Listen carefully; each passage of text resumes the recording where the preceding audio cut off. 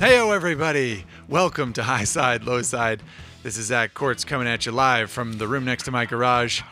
And I'm here, as always, with Mr. Spurgeon Dunbar. Hello, Zachary. It is a lovely Friday afternoon when we're recording this. I'm hopped up on caffeine. Hopefully, your day's going as energetic as mine is. Absolutely. I went from being too cold in the room next to my garage to too warm in the room next to my garage in about three weeks. As we all know, Southern California weather is very fickle. Anyway, It's that time um, of year, though. It is the springtime, where one day it's 40 degrees and the next day it's 80. It's true. So, uh, today's agenda, as you well know, we'll give away a t shirt. We'll talk about the news. Um, we have our lovely friend Spenser Robert on the program today. And the topic is, as you probably know, are motorcycles the cheapest way to get around? So, we're going to, we're going to dive into what the heck we're talking about there eventually. Um, and then after that, of course, we'll answer some um, viewer listener comments and questions, which is uh, arguably, I'll have to check with my lawyer, but I think that's the favorite part of my show. really? Yeah, I think so. First things first, though. Um, speaking of lawyers, uh, we need to give a, a tip of the cap to our uh, our benevolent sponsor, Motul. Like that the, the lawyers came into play there. Otherwise, I this. It the, the like a contract negotiation is going to go horribly awry. Everything everything's fine with Motul, by the way. For the for the for our listeners out there, Motul uh, is very easy to work with. We don't need to get the lawyers involved usually. Um, but talking about Motul, I think it's important to note that uh, one of the things that we try to do is incorporate Motul in, in some of the live. Uh, action performance things that we do, um, and one of the bigger live action performance things that we do uh, this year, especially, is get on Adventure Fest. And Yes. the way that we gave back to our audience and our listeners last year in the Black Hills of South Dakota was we, we set up a little tent and every day when you came back in from riding off-road we had some Motul chain cleaner and some Motul off-road chain lube. Now for you BMW shaft guys, you have no need for that. But for everybody else out there riding a, a- an adventure bike that is not a shaft drive bike, uh, we had a little sta- station set up with Motul and we were uh, cleaning chains and lubing chains for everybody out there. And if you didn't know how to do it yourself, even chains. yeah, we, we did it for you. In some cases, I had Brandon get down on the ground and uh, lube my chain, just because it was easier to have him do it than you know use my knees. Fair enough. So, uh, if you are headed to Sturgis for the second of our Get On Adventure fests this year, uh, then uh, get ready to get motooled. And if you're- you- Ready to get Motul. Uh, I gotta work that into one of the ads. I was just going Uh, to say, if, if you don't know what, you're, what we're talking about, um, if you are an adventure rider out there, or if you're a street rider that just wants to go on a, a three day scenic street tour, uh, there is a little bit of something for everyone, uh, especially in the, the Sturgis location. Uh, Really great riding for both on road and off road. You can check out uh, revzilla.com slash fest to read all about what we're talking about with Get On Adventure Fest. That's revzilla.com slash fest. Are Kids we- eats just we- five bucks. Are we going to get into the uh, NPR voice? Uh, let's get into giving away a t-shirt, shall we? I think that's much Too more many- exciting than getting into NPR voices. GD t-shirts around here anyway. So, uh, as a friendly reminder, if you leave a review on our Apple Podcast page, we will pick one uh, at random, sort of, um, and uh, you know, we'll by pick one that random, we we, like. mean one that we like. Yeah, exactly. Uh, and uh, we will ask that you send us your uh, t-shirt size and mailing address so that we can send you a free t-shirt. This episode's winner, Spurgeon Dunbar. Mid Coast Scramble uh, wrote in and said, or Mid Coast Scram- Scrambler, Scrambler, Scrambler, yeah. Scramble would be like, you know, he's having some eggs for breakfast. Mid Coast Right. Scrambler says, I am a firefighter slash paramedic, just getting into riding at age 40. Um, so one year older than Zack and myself. And don't act like you're 38 because you're going to be 39 soon enough. Um, Zack, your uh, podcast has been exactly what I need uh, for baseline knowledge. I appreciate the balance of gents, uh, the balance that you gents strike between embracing the calculated risk inherent. Adve- adventures of riding a motorcycle, and then providing encouragement to ride defensively, wear protective gear, and continue taking classes to progress skills. Uh, look forwarding, look forward to each new episode. Keep it up, guys. Um, and we just we like this one because I think I think it's important to know that there is a balance, right, between you know riding a motorcycle and, and some of the the things you can do to help you know fight against the risks associated with riding a motorcycle. Indeed. Yeah, we like this one for a lot of reasons. Uh, uh, the flattery, obviously, but also um, the fact that um, you know a, a firefighter, a, a paramedic, is sort of raising uh, their hand and saying, "Hey, you know, like I'm riding motorcycles and I understand the risk of it." Also, getting into riding age 40, love that. Um, you know, uh, later than uh, than Spurgeon and I did, obviously, um, but we love to you love to see it regardless. And of course, uh, you know, if, if you can be rocking a high side, low side T-shirt around the station here and there, well, we wouldn't hate that either. Just to be associated with anyone who whose job it is to help people and put out fires. There you go. There you go. So, uh, Mid Coast Scrambler, please do send us your preferred t shirt size and mailing address to highside, lowside at revzilla.com, and we will send you a t shirt. Same thing goes for all previous winners. If you've won in a previous episode and you've yet to send us your email address with t-shirt information, go ahead and do that, um, and we will get you a t-shirt sent out as well. Now let's move on to the news. And mm. the first note here, and I actually I went through and I read a couple different articles on this, but the ex Norton CEO Stuart Gardner is been Garner. sent Gardner. What did I say? I feel like this is the Stewie and Brian Cool Whip thing from Family Guy. I, you, I think you said, it sounded like you said Gardner. No, no, Gardner, Gardner. No, there's no D. Gardner. Right, Gardner. G A R N E R. Gardner. What did I say? I don't know. Anyway, uh, Stuart Gardner has been sentenced. Uh, for those of you that are not aware, he did plead guilty to three charges of breaching pension regulations and illegally investing up to and approximately 11 million pounds of people's pension money and then sm- basically funneling that off into Norton motorcycles. So, big deal this here. is this has been a it's just been sort of like a tabloid motorcycle. So like if there were motorcycle tabloids aren't there? I don't not really whatever. If there were this would be splashed all over the front page because it's like uh you know it's it's the motorcycling version of like free Britney I think. It's just it like it people love to they love the drama of it and everything. And I think the the real message here the real news is um is that Norton Motorcycles has in the past number of years to a certain extent had some motorcycles that were intriguing and interesting and cool and uh, they went to Isle of Man and I don't know and and it's just a shame to see it all kind of like crumble in a very sort of public and shameful way. Well, here's the problem that I have with this, and uh, and I was I was trying to get logged in here so I could pull this up. Um, the punishment doesn't necessarily fit the crime, right? So he he basically embezzled uh, up to 11 million pounds of of other people's money. Um, he was ordered to, I think he was sentenced to eight months in prison, but it was a stayed it was a stayed order, which means that basically as long as he doesn't get in trouble, he doesn't have to go to prison. Um, and his fine was like twenty one thousand pounds, or it wasn't even a fine. He had to pay like twenty one thousand pounds in costs. So the other part of this is that most of that will probably go unpaid because he filed for bankruptcy. So embezzles 11 million pounds, gets hit with an eight month sentence, doesn't actually have to go to jail for that, can just sit at home and as long as he you know behaves himself, he's fine.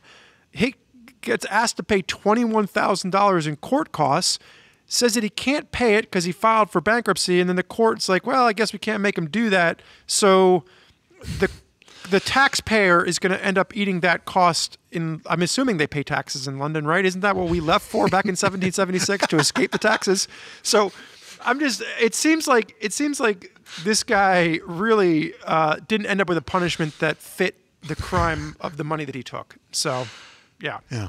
Yeah, it's true. You have been sentenced to no tea and sandwiches with the vicar for three years. Vica.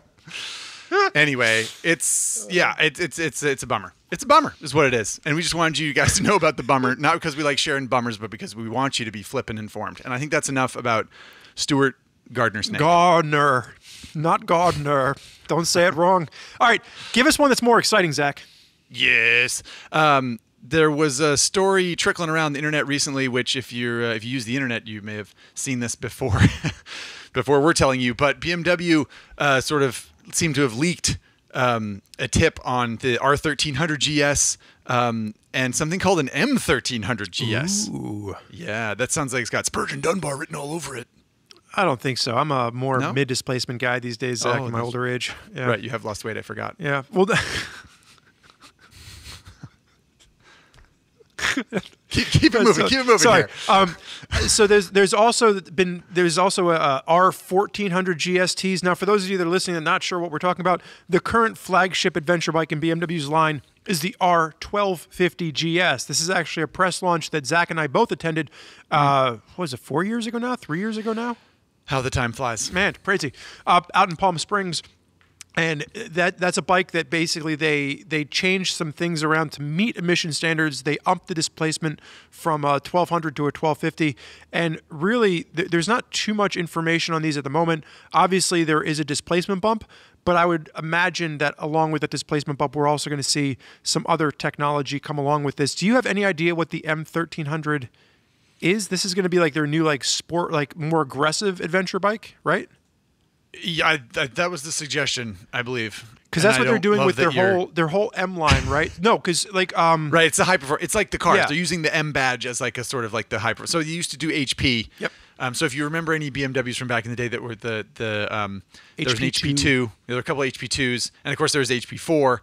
Um, and HP four kind of in some ways became the M1000 double R. So I think that's kind of where they're going with this. Instead of there being uh, HP two GS version or something like that in the future, it would be an M1300 GS. So, uh, yeah. Anyway, uh, it, it- not a huge surprise because this is what a lot of companies are doing. They're making the engines a little bit bigger in their vehicles to in order to maintain the same amount of horsepower with new emissions regulations and that type of thing. So it's uh, not a huge surprise, but but uh, kind of fun to see like a little peek behind the curtain or four four years from now, we'll be coming to you with information that BMW's leaked uh, the R1800, and it'll just keep going from there. wow. So yeah, Yeah, you never we'll know. We'll see. You never know.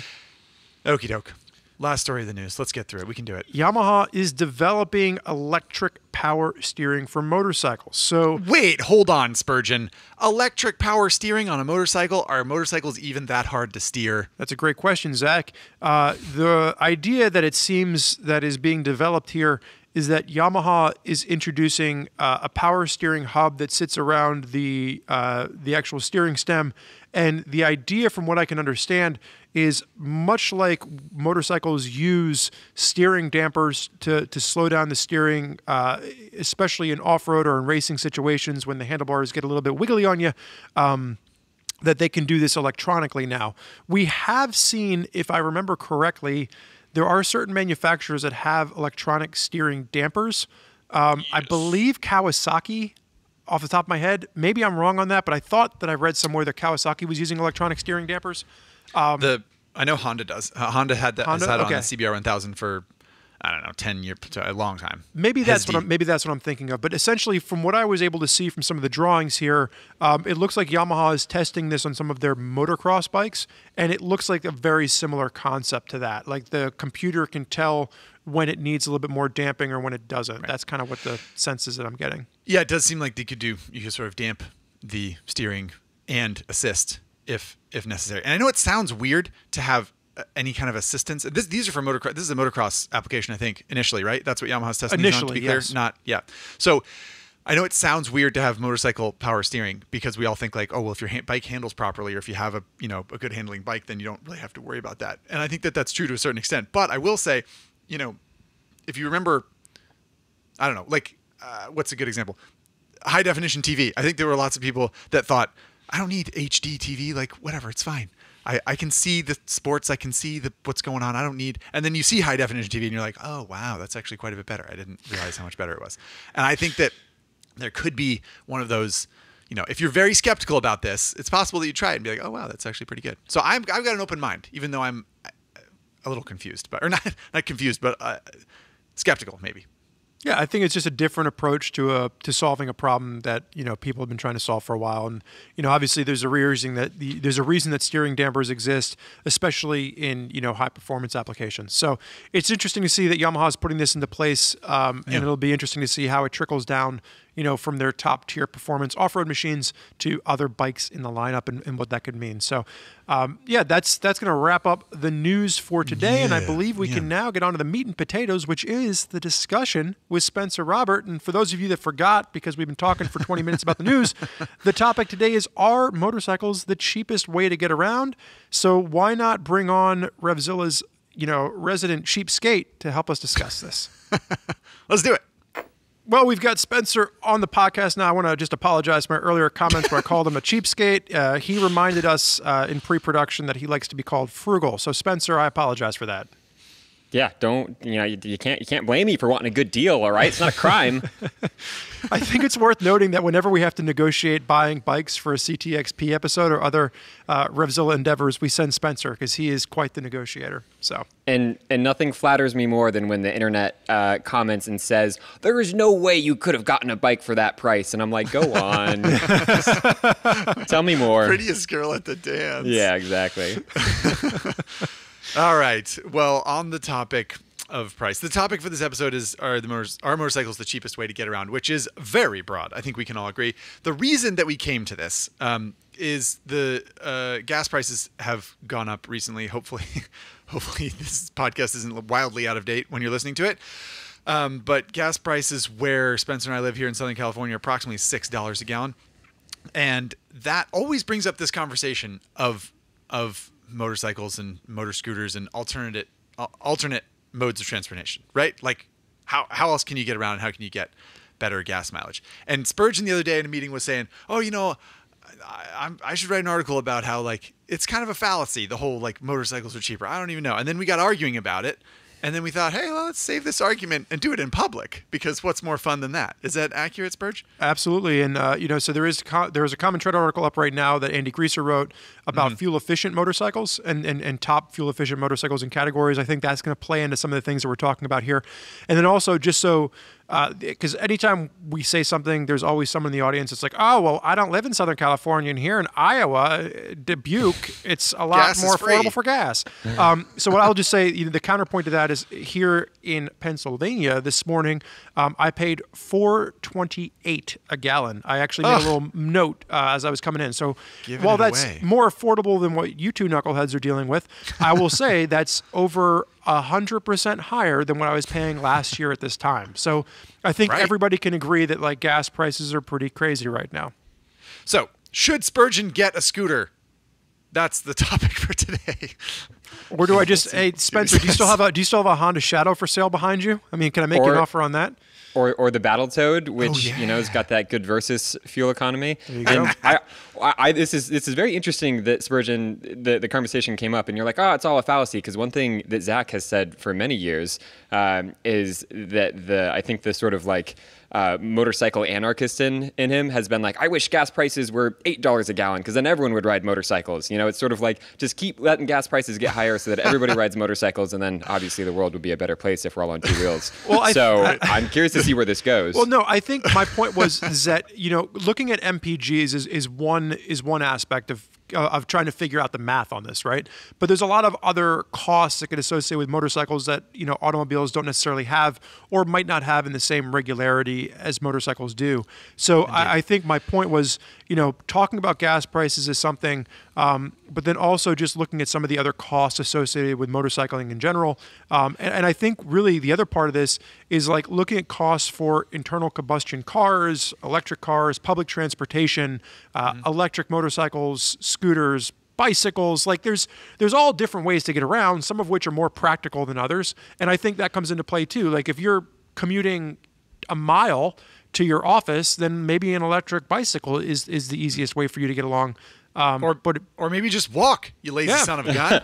yeah Okay, okay. But what- anyway, oh, go ahead, go ahead. I was just gonna say, like, what's I, I Zack, as you uh, was you and Spurgeon pointed out, there's a very big question. Yes. What is the like small piece that you can break so, off? So what Spurgeon just went through, all of what Spurgeon just said, all of that and more or less to come here on high side, low side. But we're going to break this down into some into some categories, and we're going to try and talk about them uh, piecemeal and then circle back to the to the main question because it is such a broad thing. So, the first question that I'd like to pose uh, to you, Jelly Spoons, is: Are motorcycles cheaper from an upfront perspective? You want to buy a vehicle. You're a person with some money. You want to purchase a a vehicle to get to work, to get to your mother's house, whatever you're trying to do. This is the question that we have to answer. And I feel like in general, can you think of a I mean, more expensive cars are more expensive than expensive motorcycles brand new on a showroom floor. But if you're buying used or you're buying or you're or you're being you're sort of like uh, being a being a sort of a a, a, um, a discerning buyer of vehicles, Nice. you can you can Frugal.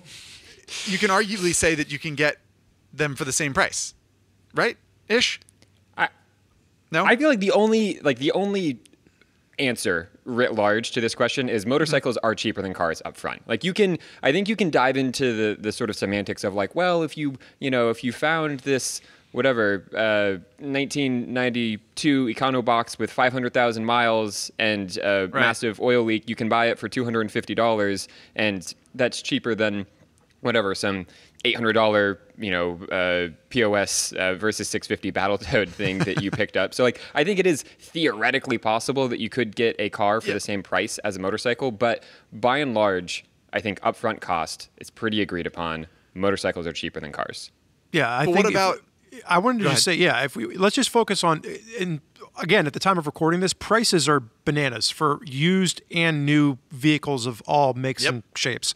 Um, but let's just say we take a look at a brand new Z400, which is an entry level motorcycle, which is roughly going to cost you around 5,500 bucks, said and done, fees, taxes, et cetera, yada yada yada, maybe more depending on where you're t- paying taxes on, and a, a brand new Honda Civic, right? A Honda Civic like now is like $35,000 it's over thirty thousand dollars for a Honda Civic. It's insane. so like even if we're just looking at that direct comparison of a brand new MSRP versus a brand new MSRP, Kawasaki versus Honda, and we could if we really wanted to make it fair, we could grab a Honda motorcycle and do that comparison. But like you, there's a twenty five thousand dollar difference there. I mean, I so I looked up what is the cheapest. Basically, what I what I wanted to see is what is the cheapest highway legal major manufacturer motorcycle and the cheapest brand new car you can buy. And the you know the highway legal major manufacturer motorcycle thing like it gets a little bit muddy but basically you're looking at about $5000 like somewhere in that neck of the woods you can probably get a brand new 5 to 5500 uh, you can get a brand new highway capable motorcycle that can take you wherever you need to go. The cheapest for 2022 car that I was able to find is a Chevy Spark, which uh, has an MSRP of about $14,600, which is like pretty cheap for a brand new car in 2022. Sure. But when you think about it from the upfront cost, even if if you were an alien that landed on Earth and you were given some cold hard cash and their and your alien overlords were like, "All right, you got to get around for the next year."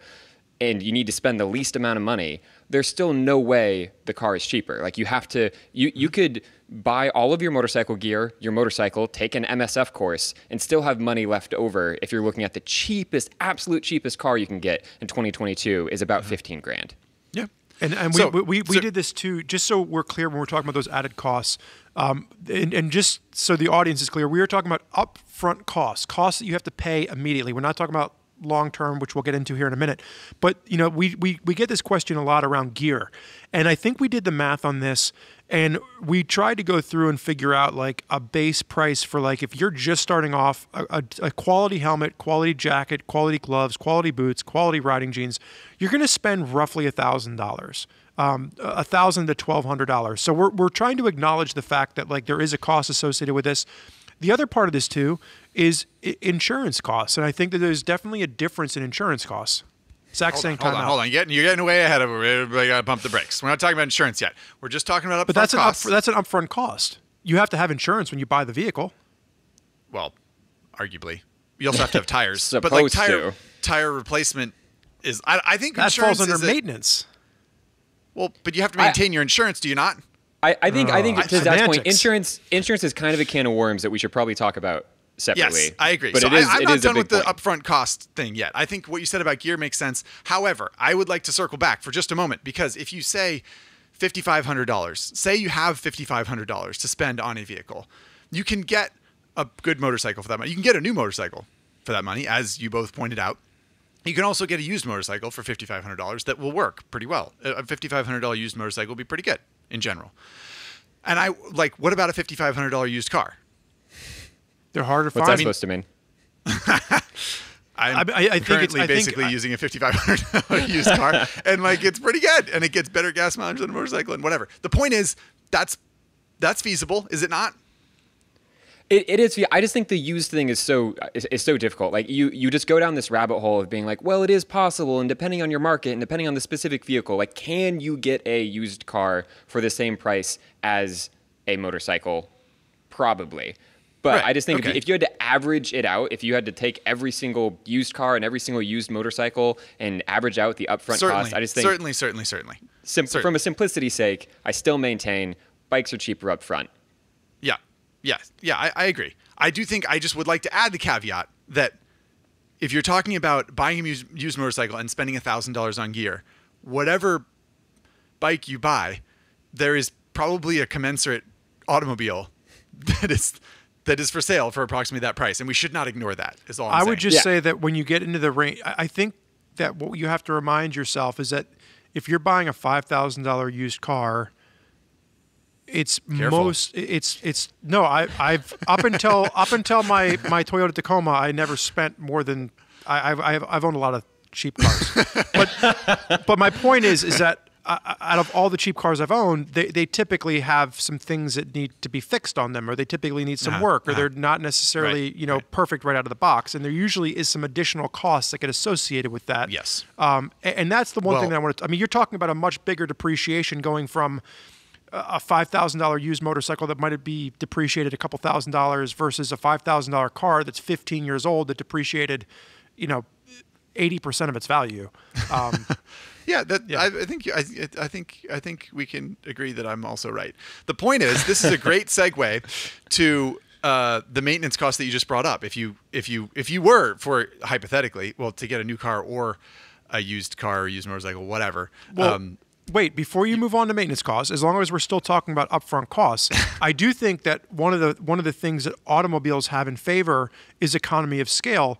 And what I mean by that is that if you are financing your vehicle, there are a lot more opportunities to get 0% financing on an automobile than there are on motorcycles. So, you know, you could take you could take that $14,000, $15,000 Spark and get 0% financing on it and basically that's free money over the course of the loan versus something where motorcycles typically you're going to you're going to get hit with a finance charge. You have to Okay, so what would the APR have to be on a Ninja 400 or sorry, a Z400 in order for a Z400 to actually end up costing $14,000 over the life of the loan? Uh, like I'm just kidding. Don't answer that question. Yeah, Holy crap, we're so far off track. The point is, yes, that's true. Economy of scale, zero percent financing. Okay, but I think it's better to just talk MSRP and chunks of money because that's so much easier to uh, map for me anyway. Maybe it's just that I'm not good at math. But I do think that we should move on to to maintenance costs. I think. Do, do you dispute uh, uh, Spenser's claim, guest honors, that motorcycles are cheaper than cars from an upfront cost perspective? Period. Spurgeon. No, I uh, do I. No, I, I, I'm, I'm in agreeing. I'm agreeing with You're- you're You're the one that's disagreeing with him. Don't just don't turn me against a- him. I'm with him. No, no, I, yeah. So I, I, push comes to shove. Yes, I agree as well. Um, I just think that we should remember that uh, cheap cars aren't so bad, or they can work. But I think that's a good segue again for maintenance costs and what you end up spending on the the vehicle. And this is a this is a pretty broadly this is an easy thing to to chew over, right? We're talking about when you have to put tires on a motorcycle, the insurance that Spurgeon was talking about, um, stuff like that. So what's what's your what's your kind of gut instinct, Spenser, on on that front? Well, uh, I think the baseline here is are you maintaining the vehicles the way you should be? Because if you just ignore the maintenance, then, uh, which of course we would never recommend, um, then I think, you know, that can tweak. I, and the reason I, I'm a part of me is, of course, joking, but part of me is also being a little bit serious in that if you go absolutely by the book of your recommended maintenance for vehicles, which I think most people this side of Ari Henning do not do, when it's like after three years, replace your radiator hose. Like I don't, I don't know how far down the rabbit hole people are going with that sort of thing. Right. But it it does seem like in general, motorcycle maintenance is likely to be higher. You, it, it's just that I think motorcycles themselves are a little bit more consumable. So you know whether it's your your tires or your chain or Yep. you know the frequency of oil changes or spark plugs or you know brake pads, whatever it might be, things just wear out faster on motorcycles and. m- Going back to the economies of scale thing, Yes. I think given the the size of the materials involved, motorcycle components uh, and maintenance is more expensive. You know, like motorcycle tires can be just as expensive, if not more expensive, than car tires, even though they only last you know a sixth of the amount of time. So Right. that's that's where the, the math starts to to sort of I think level out, and the, and the question gets a little bit more complicated. Yeah. Spurge, thoughts? No, what about you, Zack? You go. You go next. I don't have any thoughts. No, I think actually what what um, what Spenser said is exactly what I was going to talk what I was going to say as well, which is that the economy of scale thing makes a big difference, and it's very common for car tires to be so much cheaper than than motorcycle tires and last so much longer. Uh, it just yeah, and for a bunch of reasons, not least of which they make so many more of them.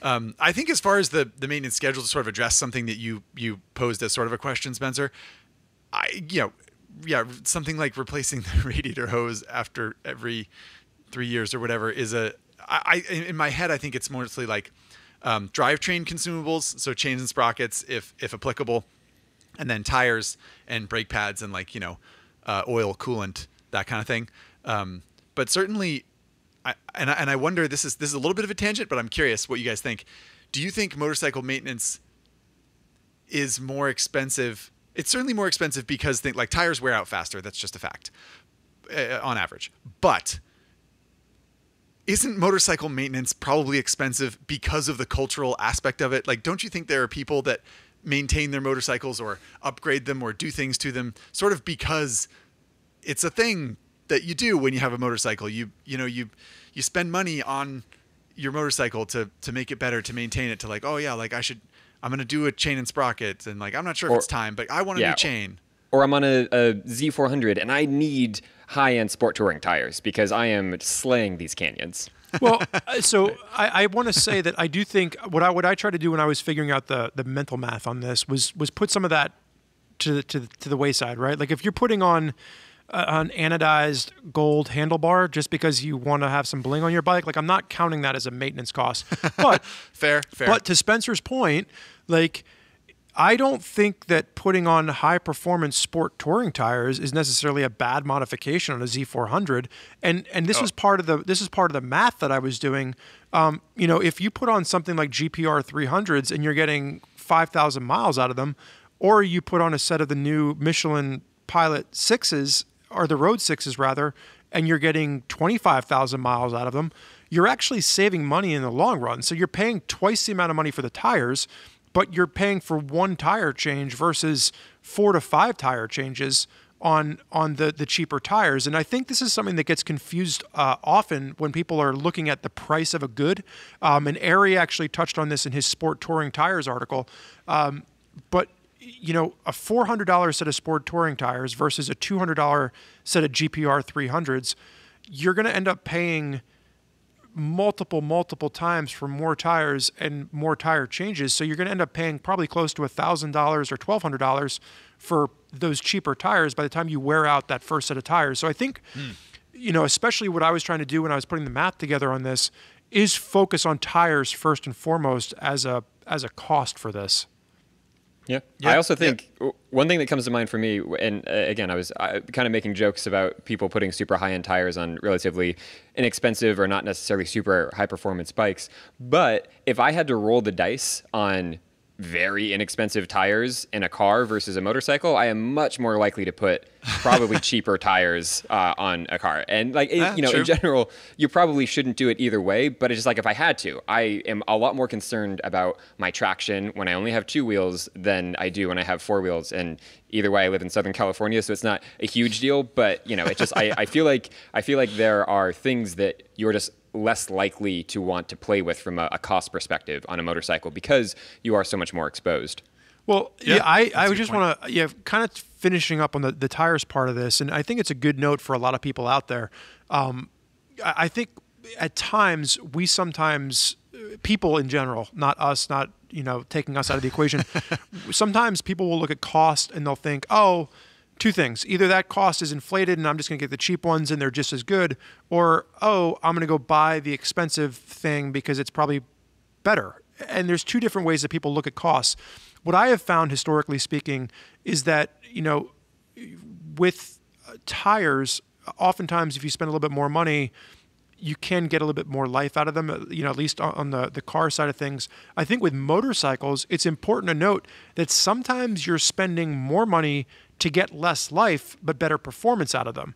And, you know, for this particular episode, when we're talking about how to, how to, you know, be a bit more frugal with the things that you're doing to your motorcycle to get more life out of it for less money, it's not about spending more tire more money on tires it's about putting the right tires on for the application and something like a, a set of pilot um, you know pilot fives or pilot sixes might be less than a high performance tire they might cost you more than a budget tire but that's going to be the right tire for a lot of people that are doing you know canyon carving street riding or whatever um, because it's going to give you better mileage and and performance. Um, so just something to just something to talk about there because I think oftentimes we forget about the intention, and, and, especially with motorcycle tires more so than with cars.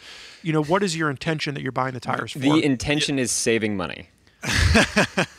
for the sake of this podcast, certainly. And yeah, for what it's worth, I think if I'm reading between the lines, Spenser, when you said high performance sport touring tires on a Kawasaki Z400, I think what you meant was like hyper sport, like racing tires, right? That's yeah. You you were talking about like putting ultra high spec like race rubber on a bike that realistically is not going to the track or the rider is not utilizing all of that performance and therefore basically you were yeah, agreeing with Spurge in, in the long run.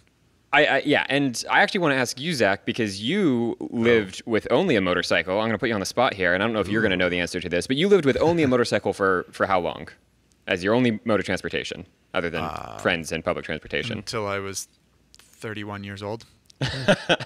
uh, what was so when I got my license? I mean, I don't know. Yeah, like realistically, ten well, years, I, fifteen years. And maybe let's take your your KTM of of daily rider fame.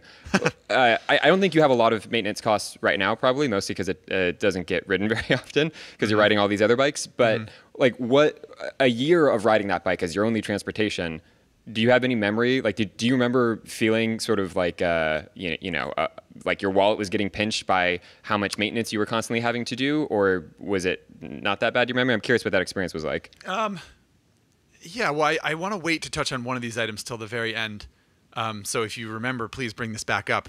Uh, but um, certainly, I chewed through tires, definitely. Um, and I didn't log a ton of miles either. I mean, I lived in San Francisco, which for those not familiar, is a city in California that is seven miles by seven miles. That's the size of the entire city.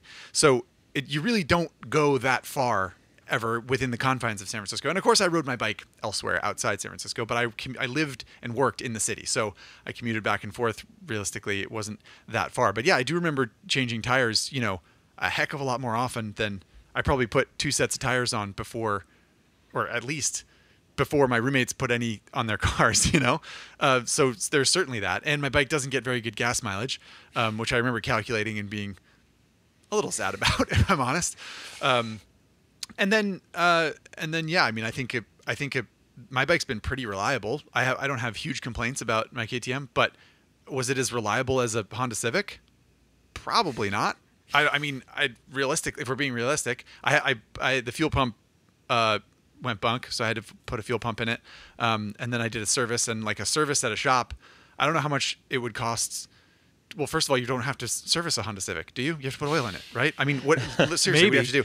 Like my my wife's car, you're you're I think I don't think you're ever supposed to check the valves. It literally says like don't do it. It that, doesn't have there's no there's no spec. There's no it doesn't matter. You don't have to worry about it ever. Whereas at 10,000 miles, I spent $800 on my KTM to have it serviced and have the you know, have the um, the the fork oil changed and the you know like sort of a complete service. So that's significant. And I wasn't sad about it at the time, but certainly I was I was eating costs that someone with insert econobox car here wouldn't have to worry about at all. Yeah. So I want to say too, because I I didn't do it as long as you did, but when I moved to LA, I spent the first two years in LA with only right. a motorcycle, and you know, Zack, you hit on something that I want to just kind of bring this back around to is while we can, you know, advocate for people to change their own oil or, you know, uh, swap a chain and sprockets out, there are certain things where it is sometimes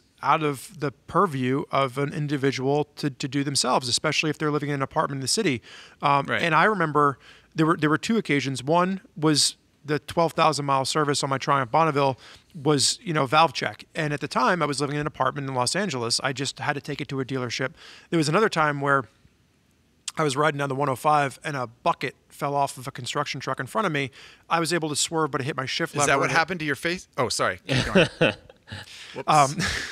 No, and it, it hit the shift lever and it cracked uh, the the back seal of the case. And on both occasions, you know, unlike a car where you can take it to like, there's probably, I don't know, 30 auto me- mechanic shops within a five mile radius of where I live now. Um, and at the time, there were like two Triumph shops in Southern California, and Right. it was a three to four week waiting list both times. So you had to like call, get an appointment, drop it off, have it serviced. Um, and and the issue there is that if it is your only form of transportation, there is an opportunity cost of then you either have to rent a vehicle, you have to borrow a vehicle, you have to get rides places because there's Right. not as many places to get it serviced. Absolutely. I think that's I think that's a really good point. Um, well, if it's okay, uh, I'd like to just hit a couple other topics on this uh, maintenance. Um, you know, Yeah, want to. Yeah, let's keep diving. In, let's keep diving into maintenance. So So, I think that's what um, we're talking about. So yeah, Yes. So um, we we've talked about tires ad nauseum. I think. Um, I do want to touch on insurance, and I don't want this to turn into a 30 minute conversation. But uh, I don't know what your your research turned up, but basically what I found was that average insurance rates for cars are a lot higher than I realized, um, and I think their average insurance rate for motorcycles are a lot higher than I realized. Um, and I don't I like I, I was basing you know mostly Basically, on what you, I you're you're telling us that you're very underinsured. extremely. Evidently. Um, uh, well no i mean I, I looked at a spread of, of some costs that i that i saw. Um, and i guess i'm curious what you guys i don't know how comfortable you are telling the world how much you pay in insurance but for me i don't like my um, my my pickup truck and my motorcycle are both are both insured based on fairly low mileage because I don't use either of them very much. Um, but even still, my my old pickup truck costs more to insure than my old motorcycle does. Um, it's pretty close, but it's I guess it's comparable. Um, but but yeah, like what what what are your I guess guest honors, Spenser? What what are your thoughts on insurance and what do you think about what have you learned about insuring motorcycles and cars over the years? Yeah, well, I you know I think similar to you, I I have uh, a little bit of a tendency for the uh, the budget minded vehicles, the the frugal vehicles, if you will. So I, I've never. I, it's rare that I've owned vehicles, uh, whether two wheeled or four wheeled, that are wildly expensive from an insurance perspective. Um, but every single time. My four wheeled vehicles have been more expensive than my two wheeled vehicles. That's been very consistent for me. And the research that I have seen in general, and insurance is such a difficult Yeah. thing to talk about. It's such a like, hornet's nest. What's your age and your gender and what's your accident history and, And where do you you're live? living in, yeah. and yeah, exactly. It's just there's a, a whole list of things that can affect how those numbers get calculated. But it does seem like, again, by and large, motorcycle insurance is less than car insurance. And you know, uh, caveat, caveat, caveat about how that could be different for you. But I, again, I think on average that is the case, and that's been, certainly been my experience. wait, wait. What You're you, saying you think car insurance is cheaper or is Oh. more expensive than motorcycle insurance? Oh yes, car insurance is more expensive than car. Like that's that is that was Do you have full coverage on your motorcycles? all right, define full coverage. You know, um, yes, mother. the reason so this is this has been my experience and i did i did do uh, as we were talking about before some half-assed internet research that suggests this is the, the the sort of general case nationwide and that is because motorcycles are typically a little bit cheaper they have fewer things that are likely to get damaged in an accident. You know, it's like you, you whatever, you damage a, a car sometimes. And they're like, oh, well, that body panel wraps all the way from the tailgate to the nose of the car and then under the car and then on top. And so we just actually need to buy you a new car. Um, so I think, I think in general, as from an insurance company's perspective, motorcycles are are cheaper to insure just because they are not as expensive. And that goes back to the first question of Yeah, upfront true. costs. Yeah, I mean, So- if you have a, if you if you have a motorcycle that costs eight thousand dollars, brand new, then an insurance company, even if they total it every time something happens to it, it's it's like it's it's that that cost is that they can only really I mean they can do whatever they want I guess but realistically or theoretically they can only they can only ever need to spend that amount of money which is as Spenser said not all that much but it sounds like But you've had a different perspective Yeah, Spurgeon's winding up no, here. I, racing. I just I had a completely different experience, uh, and I'm going to go back to you know I- when I was when I first bought my motorcycle, I was living in rural Pennsylvania, and the it was like twelve hundred dollars a year versus the 1987 Dodge Caravan that I was driving around, uh, which had barely any insurance on it. Was a much more affordable vehicle to insure. Um, but when I moved to Southern California, the the cost of motorcycle insurance skyrocketed to like twenty two hundred dollars a year for full coverage. I had a lien on the bike; I had to have full coverage on it. And I remember at the time I had looked into getting a Sprint ST, which was a sport touring bike um, from from Triumph's lineup, and then the insurance was going to cost me seven thousand dollars a year. Um, and at that point, I was like, "Yeah, for full for full coverage insurance on the motorcycle." And I and I was twenty. I was twenty three years old. Um, I You'd been in 15 accidents. I had never I had never had I had never had a claimed accident uh, for in, in, in the five years previous to that. Um, but I like I was you said claimed there. I had never had a claimed accident. well. You, if, you, if you can fix it, if you can like use some duct tape and put it back together, you just don't tell the insurance company. No, but that's that's interesting. And, and I have Yeah. a quick question: Is are this is I'm going to sound like a real babe in the woods here, but um, are is insurance more expensive when you finance something? Well, if, If you, you have finance it, you have something? to have full coverage on it. So there's a minimum amount of insurance you have to take if you're financing a vehicle. I feel guessing like my I do- insurance is that bad. I don't. Maybe I maybe. maybe Yeah, I feel like I is bad. probably don't don't have the same level of insurance you did on your Bonnie on my Zuma 125. Well, that's. So- I, but I think that's the other thing of this too. Is like, what bike? How much is it worth? And what's your age bracket? Where are you Right. living in? Because Right. again, the other aspect of this is motorcycles are seen as more dangerous, and therefore they're oftentimes going to have higher insurance costs than than cars are. One interesting tidbit that I read about that that, that sort of lends itself to being good for motorcycles is that typically when motorcycles are in accidents, they cause less damage to other things than cars do. So that is that is one small factor that I think can lower the cost. Uh, But that is your, your numbers are, are shocking there. I, I was not expecting. I didn't know Yeah, that you could pay that much in motorcycle insurance. And again, I'm sure How much was that changed. Sprint? How much was that Sprint ST that you were going to buy? Like twelve grand? I could have bought grand? two of them. No, the Sprint ST was like seventy nine hundred dollars, and it was and like it was going to be seven grand. The the quote that. I got from Progressive at the time, and again, this was gracious. 20, uh, 15, 15 years ago. Um, the, the quote that I got from Progressive was almost as much as buying a second motorcycle, and that was why I didn't Yeah. buy the bike. I was like, I could just buy a second one, stick it in a storage facility somewhere, and when I wreck the first one, I'll just have a spare. I'll build my own insurance policy. So Um, yeah, in my in yeah. my experience, I've found that, and maybe it's the cars that I'm driving too. Maybe this speaks more to the vehicles that I'm driving, um, but typically, I have found that the motorcycle has been slightly more expensive to insure Okay. uh, Okay. than my cars have been. Well, I think that's I think that's fair, and I think we can. I think if you guys are okay with it, we'll leave the insurance discussion there because it is it is a pretty big ball of wax, um, uh, and we've we've we've been um, um, vulnerable with our open and honest with our own insurance experiences, um, and your your uh, your results may vary. Obviously, you know, I, I know that there are lots of caveats as as we've said about that kind of thing. One thing I wanted to talk about is parking and tolls, which I know is a big thing it, d- depends, right? Some some people might go over across, you know, they might go over three bridges and have to park in a parking garage for their commute, and other people might be like, I don't pay for parking no matter where I go, so this doesn't matter to me. Um, but I would say, uh, well, uh, uh, guest honors yet again, Spenser. What what do you um, what what are your what, what are your feelings here on like cars versus motorcycles, uh, parking and tolls? Sure, sure. Yeah, guest guest honor is really uh, paying dividends today. Um, but yeah, I mean, in, in general, I think uh, another sort of agreed upon thing is that motorcycle parking is easier and more affordable, and that depends where you are and what you're doing and so on and so forth. I will say that if motorcycle parking or tolls for that matter is ever not cheaper, it certainly should be because when Oh in, the- in the few occasions where I've had to pay for parking and it's the same price as a car or like you whatever you get into a park or something and they're like oh yeah, Yeah. like this little parking area I'm like "Co- it's I'm half of a car at least or at most I mean- and I mean, the toll road thing drives me bonkers. Ah, that it's yeah. four dollars for a car and it's four dollars for a bike, and I'm like, I you could send a thousand motorcycles across this bridge, and it's you're not going to have to maintain it because they only weigh 400 pounds, and I'm paying the same as this douche brick and his Escalade. I don't want to go too far off topic here, but the other piece of this that drives me insane that's kind of slated in with this is like getting into like a national park. yeah. And you're like, oh wait, the motorcycle with one person on it is the same cost Yes. as the, the the Voyager van with seven people stuck in it. Yeah, Ridiculous. Those, those national parks always out to get you. I'm telling Yeah, you, exactly. They're they're You heard it anti here motorcycles. Boo. but Uh, but anyway, I like I, I think in general my experience has been positive uh, Yes. that motorcycles are cheaper, and I think the best example of this, and this is.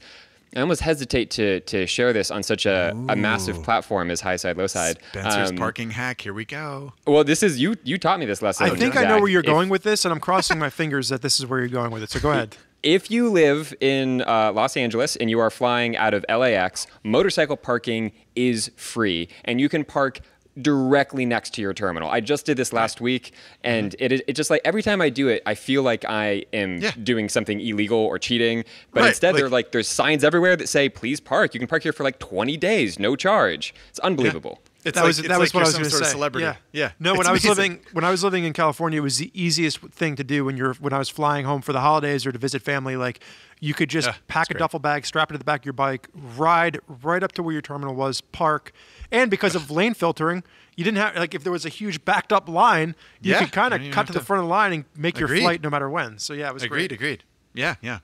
Well, there's there there are certainly advantages, and there there are certainly times. I guess worst case scenario in my experience with a motorcycle, you're not gonna completely get shafted with parking or with tolls. You're just it, there's going to be some amount of injustice potentially because you're going to pay the Yeah. same as a car, but you're not going to pay more. It's not going to Exactly. be worse. Yeah, you, you'll never pay more, but you might pay less, which is Okay. you know it's, it's a net positive. So, so uh, just to just to try to try to cap this off because this has been a long section of the conversation. Would would would we say that motorcycles are cheaper to maintain? Tires, insurance, parking, tolls, all this stuff. Are I would motorcycles cheaper would- over the long run? Do you guys? Think? I would say there are some tips that we could impart on people to help cut down on those costs. And I think well, we don't have too much airtime, Spurge, so keep it I tight. understand, but but one is is like watching Ari Henning's shop manual and Ah, looking plug. at like Good plug. changing changing your own oil, changing your own chain and sprockets. There are some basic maintenance costs that do get expensive if you go to a shop and pay four hundred dollars to have a chain and sprockets done versus you can do it yourself in a parking lot for you know a hundred bucks. So I think there's there are some things about maintaining your own vehicles, about Yes. tire selection. The other big one here, we talked a lot about tires, but oftentimes if you're willing to take the wheels off yourself, you know, get a stand and, and jack your motorcycle up, take the wheels off, you can take the wheels in to get your tires swapped, and that's going to save you money. Uh, compared to if you took them the whole motorcycle True. and they had to do that work. So I think things but then like you got to buy the stands. You can go to Harbor Freight and get a motorcycle jack for under a hundred dollars, and that will pay for itself within the first time you use it to change your your motorcycle. All right. Yeah, good, good, good, good counterpoint. You, you, you heard it here first. Yeah, th- this is all, this is all good, good stuff to point out. And I It- guess the it- same as changing your own oil in your in your car too, for that matter. yeah, I, it seems it seems to me that uh, you know motorcycles are probably more expensive to maintain in the long term. Not necessarily by a think so. huge amount. I don't Yeah, think it's right. going to be like if if the motorcycle and the car are of commensurate Japaneseness, say, um, then uh, then they're they're probably not that far off because I don't think anyone is like, oh, my CBR 300 is just killing me on maintenance. But I, I do think in the long run, because of consumable parts and whatnot, motorcycles are probably gonna gonna hit your wallet a little bit harder. I think I think that that's fair. And like you said, certainly there are specific motorcycles and specific cars that would have a the opposite. You know, whether it's insurance or whatever. But but yeah, I think I feel comfortable with that. Spurs, you feel comfortable capping that section with with that uh, that bombshell? I, yeah, I think I don't. I, I'm going to lean a little bit heavier than than than Spenser, and just the fact that like I do think motorcycles are more expensive to maintain. Um, Okay. pretty, especially when you get into like valve checks and services and all that stuff. Uh, I you know I I think that it's going to be a more expensive uh, maintenance endeavor for a lot of people. Um, Well, speaking of maintenance, this is probably a great time to get a quick ad from our sponsor Motul. Yeah, if you want to save money on maintaining your motorcycle, start a podcast, get a sponsorship from Motul. They send you free oil, and you don't have to pay for it anymore. It's fantastic. Alrighty, team. Spurgeon's looking at his phone. Whenever he's ready to share his time with the class, we'll okay. We can move on now. Thank you very much, Mr. Dunbar. The next topic is going to be a fun one. You guys ready for this? Spenser, are you ready? It's going to be Oh, guest uh, honors. Yeah, take a sip of water. Do ready. it. Yeah, okay. The next uh, topic is: Do motorcycles get better gas mileage? I was waiting for you to do the whole thing where you take a sip of water, Zack says it, and then you just spit the water everywhere. You're like, yes, so, so excited. a spit take. Nice. We should. Yeah. We should work that into the next. I'll keep that in mind. Spenser Robert, what do you think? Do motorcycles get better gas mileage than cars? Everybody's favorite answer in this episode: it depends, uh, and it does, right? Like it. I, if, I keep I keep going back to this thing of trying to give the most defensible answer possible, which is like if you had to average everything out, I think on average motorcycles are going to be more fuel efficient than cars. Yes. Now, are there cars that get better fuel economy than motorcycles? Absolutely, that can happen. And I think, especially with electric vehicles, that conversation is getting more and more interesting. Um, but if, if if I if someone was just like find a fuel efficient vehicle as quickly as you can, and I had to throw a, you know a, a dart at a board of cars or motorcycles, I would feel more comfortable throwing a, a dart at a board of motorcycles. I like that. That's a that's a great way to put it. I think that's I think that's smart. Spurge, thoughts? I no, I agree. I think like, I, and I was trying to go through the the comparisons, right? Like my dad drives a Honda Civic hybrid, and I drive a Toyota Tacoma, and I think Yep. that's a good range of like I get 16 miles to the gallon and cry, and he's you know puttering along at an average of like 45 miles to the gallon. Um, you know, so I think that when you're thinking about cars, you have a, a that that's kind of a good range. But with motorcycles, like it's really not hard to find a slew of solid motorcycles that average in the 40s. You know, as long as you're not riding an MT10, uh, you know, I think you're you're usually you know in in good company. Like, uh, and and we can kind of get into this in a minute here, but like my the 890 that I just got averages in the mid 40s. Um, and Yeah. that's some of the comparison I was doing against. Do, do I take the the 890 to work or do I take the Tacoma to work?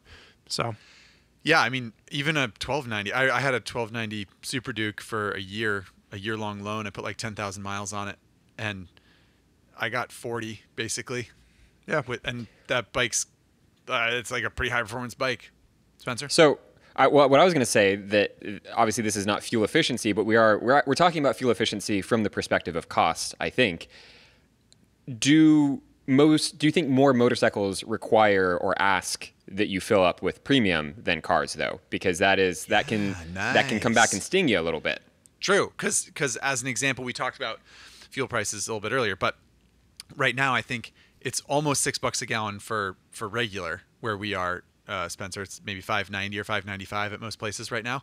Yeah. Um, but for premium, it's six fifty, right? That's 640, 650, something like that, Mm-hmm. which is not nothing. So, yeah, that's a good question, but you also, yeah, I don't know. You, I- you I'm have to, you have to cover that. a lot of miles for it to start to have an impact. Exactly, But exactly, but like yeah. this, you know, this goes back to the first question of like, you know, where are you riding? How often are, are you riding? What sort of mileage do you cover in a year, Right. riding or driving? Because So I started doing some of this comparison with the article that I was putting together around this, and it, it ties back into tires a little bit, but focusing just on the gas mileage for a second, I do put premium gas in the 890. I put 87 bare bones octane in the Tacoma.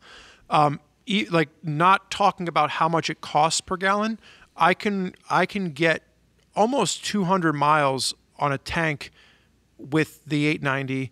I can get maybe 300 miles out of a tank with the Tacoma, and I would have to. I would be able to fill up.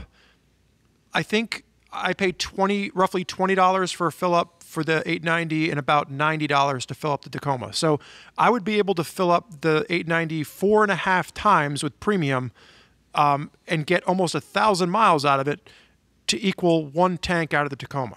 And again, again, I'm using interesting, the extreme of like a low mileage pickup truck. Whereas, like, No. if I was riding my dad's Honda Civic, it would be a different story. but I can, yeah, I can, I can roughly get. Uh, it would cost me if I spent a hundred dollars in the 890 and a hundred dollars in the Tacoma, I could get roughly a thousand miles in the 890 for about 300 miles in the Tacoma. Right. Yeah, that's interesting. That's a that's kind of interesting comparison. And I don't think that, you know, yeah, 16 miles to the gallon in your Tacoma is not great, but there are a lot of Tacomas on the road, first of all, and there are a lot of cars that get approximately that mileage, right? Would you guys agree? I mean, there there Yeah. are an unfortunate number of cars on the road that get sub let's that say get sub 15 or 20, let's say t- sub Yeah. 20 miles to the gallon because even if Yeah, even if for i sure. was like you know babying the tacoma and you know keeping the revs down and was eking out like 19 miles per gallon which i've which i've done already on like cross country trips where i hop on the highway Mm-hmm. hit cruise control it's still the the, the 890 Yeah. still wins and that's with Yeah. high Yeah. octane gas you know versus the 87 octane I Go ahead, Spenser. Well, I was I am curious because I heard you talking about this to someone else, Zack, but I didn't actually get a chance to talk to you about it. I rode a LiveWire into work today. You were recently riding that Zero FXE. Uh-huh. Didn't you run some calculations on how much it costs to fill up the? FXE? I did, I did, and I got, I got my eyes went a little crossed because I'm not very good at math, as I mentioned once before in this podcast. But uh, it it gets, it gets really hard because all the variables are so, are so different. So you have to sort of like pick a bike that you're, that you're, I don't know. You have to pick a bike that you're comparing an electric bike to. It's easier to just pick a specific model because if you say like, oh well, like any motorcycle that want to get 75 miles the gallon or 50 miles the gallon, it gets really kind of blurry and hard to calculate. But yeah, basically, um, again, fuel. You know, I'm, I was putting gas in a bike here in Southern California at six dollars a gallon, um, and you know, so if you put two gallons of gas in a motorcycle, and you you'll spend twelve bucks. Uh, the amount that it cost me to fill up, uh, based on my electric rates, as far as I could tell, was about a dollar fifteen to fill up the zero FXE, and I could go forty-five miles ish. So let's call it fifty miles. Um, so if you have a bike that you could get 50 miles to the gallon, then you would be paying about a dollar for to fill up the electric bike and about six dollars. So you're it's a sixth the cost. And Andy figured it out in today. So if you look at the article on Common Yep. Tread that is titled uh, uh, "Best Fuel Efficient Motorcycles in Every Category," Andy did the math and he said it's it's somewhere around uh, 215 miles per gallon equivalent. Yeah. So that's uh, notable, I think. And I will say, you know, the FXE that I was riding around has a seven point had a seven point two kilowatt hour battery, which is pretty small. The LiveWire that you mentioned, Spenser, it, I don't remember how big the battery is, but I want to say it's 18 or 20. It's pretty big. It's a it's Yeah. a big battery, and uh, and it has a fast charger. And Jen Jen did a 260 mile day, maybe or something, 250 mile day uh, on the LiveWire. That sounds like a lot. I'd be I'd be really impressed if that No, was no, she she like microcharged. So she would ride Oh, to a, okay. a charging station, then she would charge for 15 minutes, and then ride some more, and then charge. So she did this sort of like micro dosing of electricity, as as she called it. Um, so it wasn't not that wasn't on one charge. But just to be clear, that's a pretty good day of riding. You know, she she I don't even think she left particularly early or got home particularly late. You know, like that was just a thing that she did, and and and she was able to get, you know, more than 200 miles. Out of, out of a day of riding with an electric motorcycle, so That's that's, s- not that's like s- FXE. I would say that's Which- especially good if you're if you're microdosing. So like if you're in like Baker, California, where the giant thermometer is, the Uh-huh. electric Tesla charging station is right next to a Dairy Queen. So if you could figure that out, where like you get ice cream every stop, every time every time you stop and charge for 15 minutes, like that's the Yeah. kind of motorcycle day And I want to be part of. Right. And you're- you're Microdosing riding- of a good. I was gonna say your riding buddies will be like, "An ice cream again, and you're like, look, it's this electric bike. It's not my fault. Yeah, I I, don't know. can't help it. Yeah, and microda- mic- microdosing with Dairy Queen is, is really, I think, the life we all want to be living. Indeed. So so there are there are big caveats here, and I guess I don't know. I think I think saying you know I like what you said, Spenser, about like if I was gonna throw a dart at a board full of motorcycles and a dart at a board full of car models, and it was like low gas or good gas mileage was the was the goal, you'd you'd choose the motorcycle board. But I just feel like if you are arranging your life around fuel mileage in any sense, you know, if you have a if you have a a long a long commute, I just feel like it's pretty hard to argue with cars. I feel like it's hard to argue with like the, the advancements that have been made, whether it's an electric car or a hybrid car, that just get such good mileage and realistically, from a comfort standpoint, are pretty good. You know, like this is not taking into account traffic or anything like oh, that. oh, we're but- not talking about comfort, man. Now you're throwing it into a completely different category. no, no, no. You're, you're right. You're right. Fair enough. And I mean, I, I don't want to get into like the what's more fun. I don't, I don't want to talk about that yet.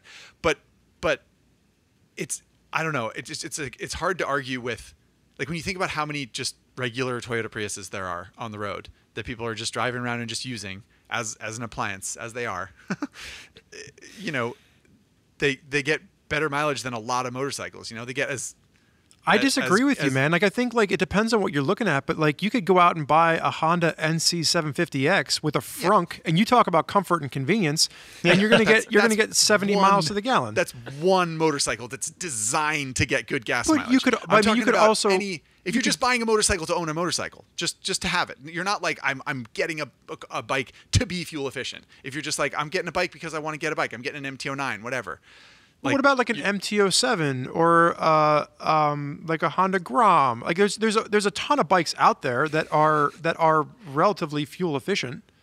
Plenty. I mean- but if you, I'm talking about purchasing a motorcycle without fuel efficiency in mind. You're just getting the one that you want. You're Okay, just so the one purchase a car without fuel efficiency in mind. Take the take the Prius off the off the the, the, the, the map here. And look at That- all the no, no. crossovers that are popular and SUVs that are popular. And I mean, yeah, yeah, fair enough. I just think that plenty of people buy cars that are accidentally very fuel efficient uh, because all they they, they just want to get somewhere. And if you just buy a accidentally motorcycle fuel 'cause- efficient, I don't think they're going to be accidentally more than 30 or 35 miles per gallon. And I think that if you look at the average motorcycle, the average motorcycle is probably around high 30s or low 40s if you take all of them and scope them together. yeah, Yeah, I, I think. not- I mean, Zack, I, I feel like what, what you're saying is, well, I, I still think it is more likely that you have a motorcycle that is accidentally fuel efficient than it is a car that's accidentally fuel efficient. I think it's more likely that if you if you have a car that's very fuel efficient, that's kind of why you bought that car, as opposed to a motorcycle that is like, oh yeah, I wanted this MT-07 and it just happens to get 45 miles per gallon or something Right. like that. But you absolutely, I mean, going back to the the used car thing, you can buy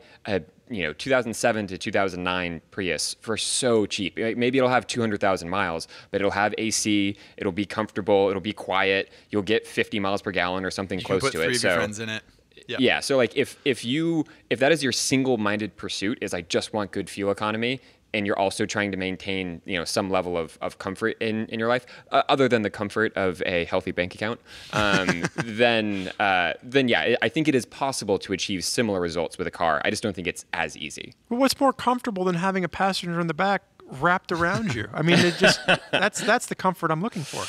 Well, I mean, I will say in, in defense of motorcycles, Spurgeon, you bought the bike. You didn't buy a bike with fuel efficiency in mind. You just bought a motor, you bought the motorcycle that you wanted. You bought a, a KTM 890. It was a happy accident that I was getting 40 miles. I didn't even I didn't even Yeah. look. Like so, like people are like how like I didn't even look to see what Yeah. the MPGs were. you And- were and, like- disappointed you were like this should be 25 I'm having too much exactly. fun I need to be burning more fuel. God darn it.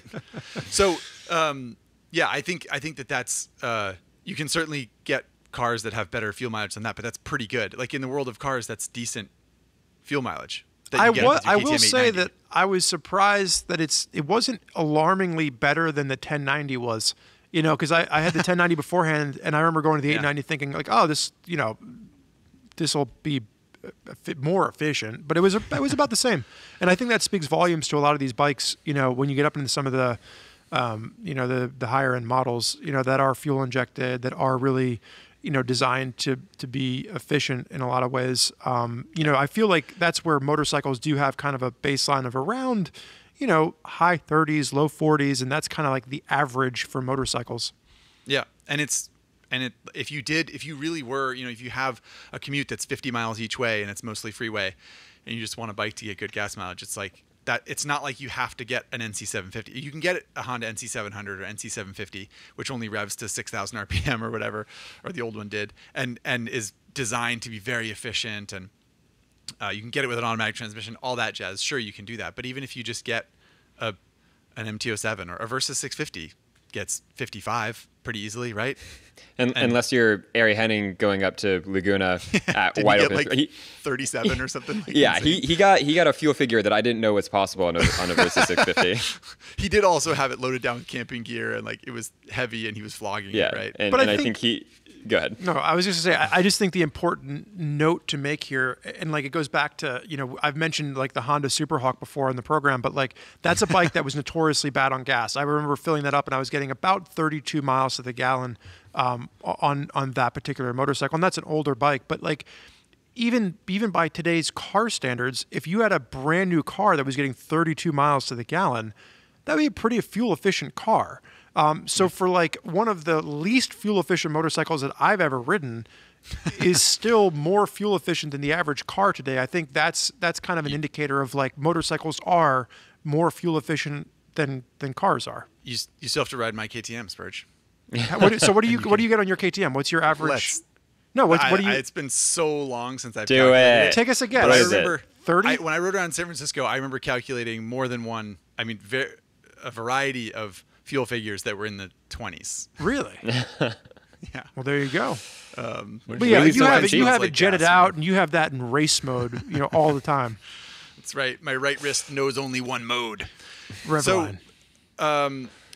I think I think we have all you know I've defended cars as best I could really, um, but I think that it's I think we've we've come to an agreement and people might disagree. Sound off in the comments if you if you like that motorcycles get better gas mileage sort of on average than cars do.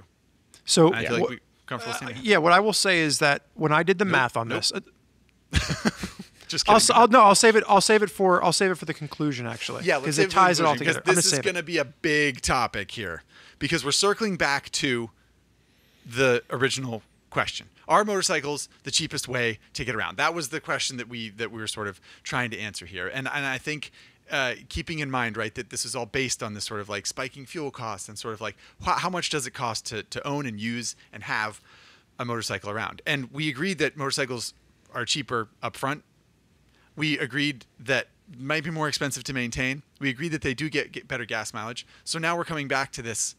What's your recommendation? Someone comes to you and says, "Oh, I, you know, I don't know. I've been thinking about getting a motorcycle, you know, to save money." What do you say, uh, uh, guest honor Spenser Robert? Ah.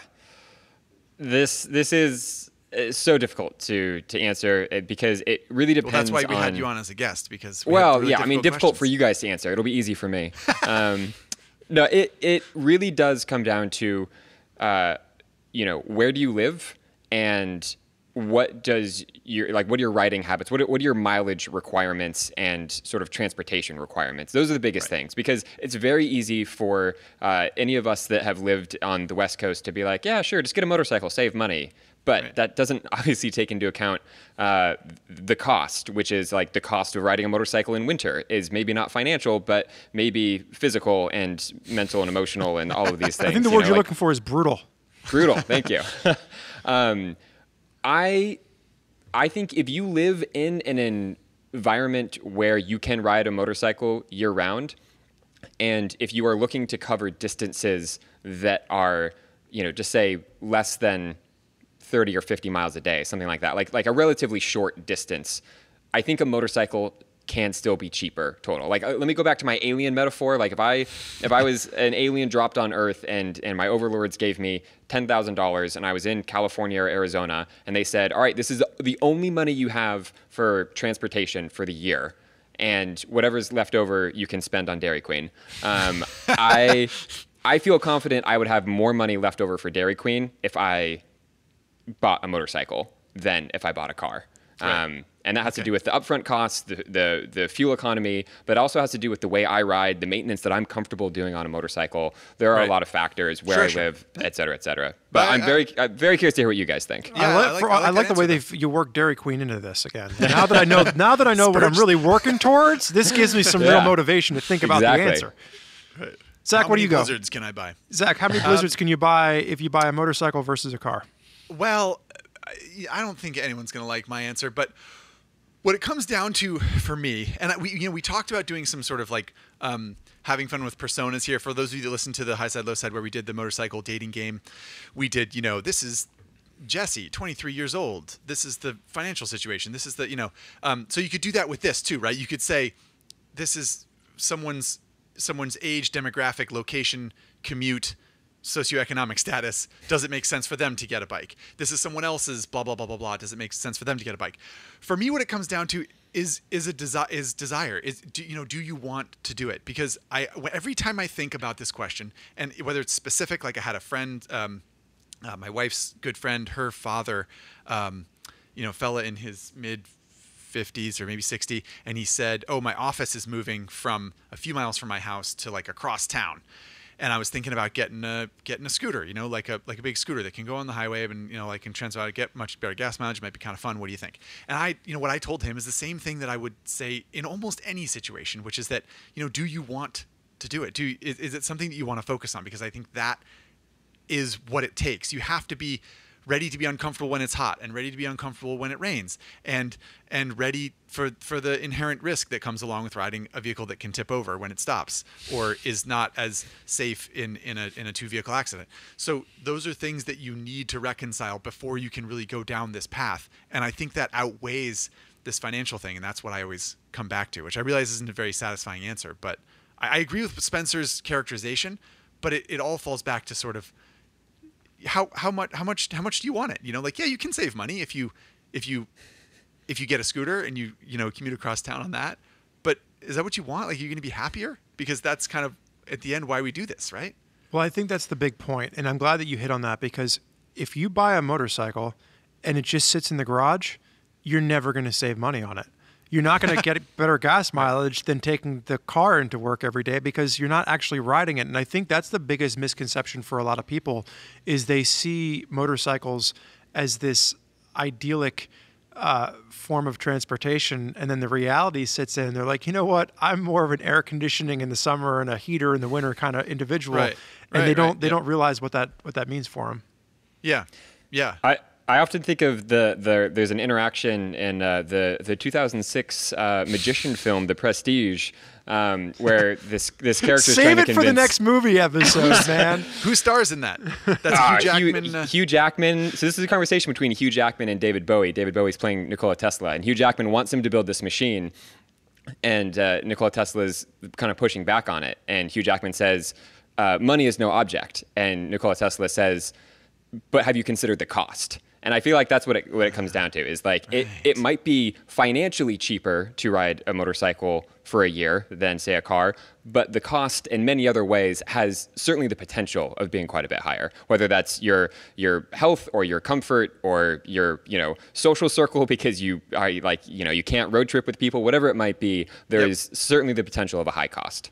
yeah, So that's the flip side of that is if you're a motorcycle fan, like if you actually enjoy riding motorcycles, this is something that's fun for you. And a few minutes ago, you know, you had asked me about the, the, the 1090 or the 890 and said, well, that's not why you bought it, right? You didn't buy it to save money on gas. So my conclusion was, you know, and this goes into some of the personal math that I was doing. I was comparing my Toyota Tacoma with my 890. And I figured out that if I was to map out 100 mi- or 100,000 miles with both vehicles, um, how much it would cost me. And basically, I go, I'm, I'm sorry, I, did it to 90,000 miles because I'm averaging 90,000 miles on the tires that I have on the Tacoma right now. I get about 90,000 miles out of the tires. And they cost me about $1,000 for the set of tires. Um, BF Goodrich, they're amazing tires. I'll throw that out. We'll, we'll put a link in this there. portion of the podcast brought to you by BF Goodrich. But I also, because my 890 is is I use it purposefully. Um, you know, I have TKC 80s on there, and I'm averaging about 3,500 miles on the TKC 80s. So the roughly nine thousand dollars I would have spent in gas savings over that 90,000 miles, I had to factor back into the 22 sets of TKC 80s that I was going to have to purchase and put onto the motorcycle. Um, Which now- 22 sets of TKC 80s is no joke, right? You, I assume you did the math on that. If not, I'm going to do it right now. No, I did the math on it. It's no joke, and it, it ate up the fuel savings. Yeah. like that. So almost nine grand. Wow. it- which is about I would I would have saved about nine grand in in fuel. So it literally came to an even head, right? But what that's not that's that's only factoring in fuel costs. That's not factoring in the fact that I've gone ninety thousand miles in the Tacoma, and aside from oil changes every six thousand miles and one U joint, the Tacoma hasn't cost me anything. And Right. with the with the 890 it, there's going to be service there. There's going to be service in oil changes and chain and sprockets and getting the valves checked. So uh, the motorcycle is is more expensive. And now there are things that I could do to offset those costs if I wasn't riding the bike off road and I was using, you know, Right. uh, sport touring tires. That would immensely cut down on the costs there. So there are ways that you can make it more affordable. But for Right. the enthusiast among us, it really comes down to how you're using the bike too. Like, are you really going to be timid on the throttle? are you gonna are you gonna Ari Henning it like when you're on your Versys 650? So if you were if you were Spurgeon Dunbar, polite man about town, that would be fine. But that's not who I am. Who am I, You are Come on. Spurgeon Dunbar, purposeful rider, Yes, Pine Barren Scourge. you got it. That's Yeah, I I think that's a um, I think that's a you never cease to amaze me. I think that's an important thing uh, to remember, and I think that all this comes comes around to to to to the person wanting it, right? And I think that's I I think actually remember I said I wanted to bring something up at the end. Yeah, I, I have it. I have. I wrote a note here to remind you to bring it up at Do the end. do you remember what I was talking about? Was I talking about my KTM? I You were talking about your Yeah, I think your KTM. Right. Yep. So so well, I'm so glad you asked. So I th- what I was going to say is basically this is the the the joy that I received from I spent eh, I think I spent eight thousand dollars on that bike in 2009, um, and that was a splurge for me.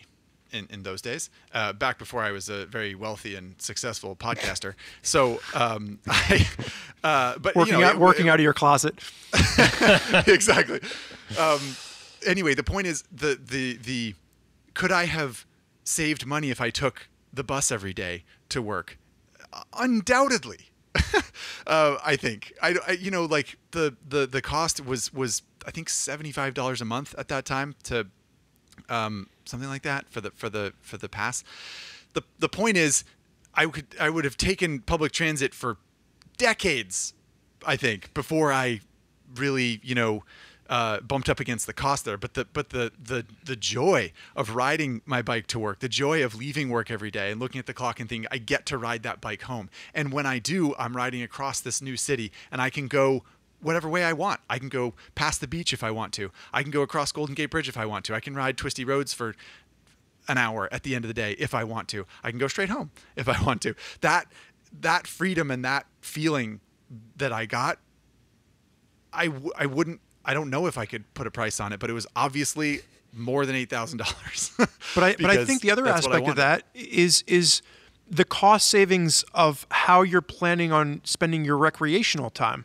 Because when I was only riding True. the Bonneville and I spent a little bit less for the Bonneville than you spent for your KTM, but I right, I I was get a. I was a public high school teacher, so I didn't have the money to spend um, you know, on, on vacations and things like that at the time. But I did have twelve dollars to fill up the tank on the Bonneville and go up Angeles Crest Mountain and, and have a fun weekend and eat a peanut butter and jelly sandwich and you know on a picnic bench and like so uh, there were there were recreational wins that I think can be associated Yeah. with that as well. true, which you're mean- not going to get with a Prius, right? Probably. Yeah, well, I mean, I will say uh, I don't want to. I don't want to knock the thrill and joy that comes with uh, saving a few pennies because that can be that can be quite the experience itself. So whether you're in a fuel efficient car or a fuel efficient uh, motorcycle, you know, gi- give it a, give it a try. The you know frug- frugality has it's got its own kicks, and I do recommend it. What I Spenser say- does, so just so you guys know, is he'll he'll find a vehicle that he wants to buy, like you know on OfferUp or Craigslist or Facebook Marketplace or whatever, and then he'll not buy it, and then he'll be like, "Oh, that six thousand dollars that I still have." Ooh. Ooh. Agreed. Yeah, I mean, basically, yeah. That's what you have to do. You got to learn to love the right thing.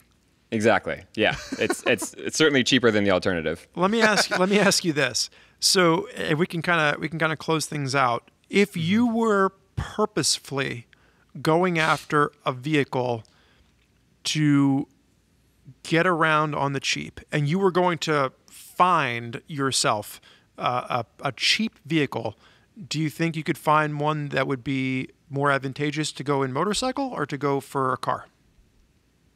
Us personally, not not like No, like we've talked a lot about like in this particular episode, we've talked about a lot, a lot about like, oh, well, that's not the reason that we do this, or that's not the reason that you bought this motorcycle, that's not the reason that you, you went out and got this car. If you were, if you, if I said to you, you have to go out and you have to find a fuel efficient vehicle that you are going to maintain yourself, or that you are not going to maintain yourself, or however, however you want to figure it out. Like, do you think that you would be able to purposefully buy a, a motorcycle or a car? for you for you and yourself and your riding style which would it be car or motorcycle for the cheapest Uh, guest honors. oh guest honors. I was waiting. Um, if be, because I am uh, competitive, and if I in my mind this is now a competition of how much money can you save, I would get a motorcycle. I would Spenser find a motorcycle. would kill someone for a motorcycle. It's I would free. I would find a motorcycle like this Battletoad that we bought for eight hundred dollars. I know that people like don't believe that we bought it for that, but whatever. In any case, it, it, it, I would find a motorcycle for between one and two thousand dollars that got forty to sixty miles per gallon, and I think you would be very hard pressed to find a car that could match that. Plus, I love riding motorcycles, and I live in a place where it rains pretty infrequently, and where the temperatures are too infrequently, um, and and the temperatures are very uh, temperate throughout the entire year. So like, I don't mind riding when it rains because it rains six times a year, and I don't mind riding when it gets cold because it's like 50 degrees. Um, so I personally, if the goal was to save money, I would get a motorcycle. Zack. I agree. Spurgeon? I, I think my situation would be a little bit more difficult just because of where I live compared to where the two of you live. True. Um, you know, and I, have to there's get a Prius. definitely there's definitely some are great. times where there's freezing Can rain or there's Prius? snow or or any of that stuff, and you just it's and I've and I've ridden in the snow um, and and the freezing rain, and it's not fun, and it's a little bit more dangerous than if you're in a car. Um, but I still think I still think the motorcycle would be the cheaper alternative. Um, I, I think that the car would probably make more sense in, in certain situations. Uh, but I would say that if I had to choose, Dare you use the S word? I, I, I if I had to choose between only having a motorcycle or only having a car, I don't know. I'd probably be more on the fence. I mean, I think I think I could say I think I could find a motorcycle to save more money, but I think there's a lot of times yeah. where like running to the Yeah. hardware store and not having a pickup Yeah. truck is is kind of a wild 100%. inconvenience. Yeah, Yeah. that's why I think you just need to decide like what is your goal because if if you only have the goal of saving money, I think you can make the argument for motorcycles. But basically, if you have any goals, like literally any goals, Any other other than goals. yeah, than just saving money, then then cars are especially if you're looking at used cars and, and you're being really judicious with how you buy your cars. I think it it gets more complicated and you're probably going to end up getting a car. But whatever. Well, there you have it, folks. Uh, are motorcycles the cheapest way to get around? We It's don't know, but you're welcome. Yeah. Yeah, absolutely. Well, um, we got a, a few little housekeeping things that we got to tidy up here before we let the nice ladies and gentlemen go, Spenser. But thank you so much for your your penny saving wisdom and uh, and your time in general hanging out with us. This was fun. Anytime, guys. All right, see you next time. It is always great having Mr. Robert on the podcast. He is a consummate professional, if not a frugal individual as well. He's uh, he's a he's a frugal fella, and you can tell he enjoys uh, having conversations like that. And I'm glad we had his um, glad we had all his thoughts here. I think that I think it helped. I had fun with that conversation. I hope Yeah. you all did too. Um, but now we're gonna have a conversation with you About the peanuts. listener, viewer about, about Yeah. peanuts. Um, so uh, I'll I'll take this one. I think because it's more of a if it's a throw to you. Yeah, I'm going to So let you the- take this one. Just just so we're clear, for those of you that might be listening to High Side Low Side for the first time, this is our comment section where we read your emails or your comments out loud. Mm-hmm. Um, so make sure you shoot any emails that you have for Zack and I over to High Side Low Side at Revzilla.com, or you can leave them on the YouTube channel if you're watching on YouTube. Very well said, and good good intro to this section. I, I neglected that. And if you are listening to High Side Low Side for the first time, shame on you! My goodness, how did it take you this long? Anyway, uh, this email comes in uh, from Matthew, um, Matthew S. specifically. Uh, the subject was peanuts, and uh, Matthew says this is an exceedingly small nit to pick, but in the Packing for Moto Trips episode, including Ari Henning, it seems like Spurgeon meant to say unshelled peanuts rather than shelled peanuts. And the reason that we're including this comment is that then we got into this whole thing about like if someone said, "Oh, I've got some shelled peanuts," would you be like, "Does that mean that the shells were taken off?" Or that if they are shelled, then they don't have peanuts. But if saying shelled kind of makes it sound like they've got shells on them, right? What did you say anyway? You I said shelled? I think I said shelled peanuts, and shelled means that they've already had the shells removed. So what I wanted are unshelled peanuts, which mean like in this case, shelled is being used as a verb, right? Like it's they, they they've been shelled, uh, is what I think Matthew thought I was saying. what I was saying was I want peanuts with shells on them. So now, for all the people that I confused with my peanuts comment about the snack that I like to enjoy on a motorcycle trip, I like peanuts that have shells intact, and I want to take the shells off. I want to unshell. No, that's not right. I want to wanna shell shell the peanut. I want to shell the peanut myself, and I want to put it in my mouth. Oh, it's so You- confusing. You want a snacktivity, in other words.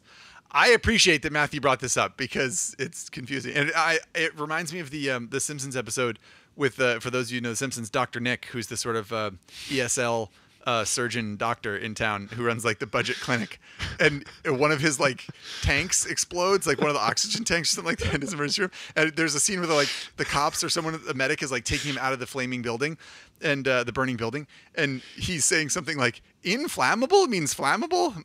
Who came up with this language or something like that? Which I mean, every time I see a tank of like whatever um, of of uh, compressed gas or something, and it says inflammable or something, and I think like good point. That's I think this is a good lesson because we do have a lot of international listeners, um, which is amazing to me all the time.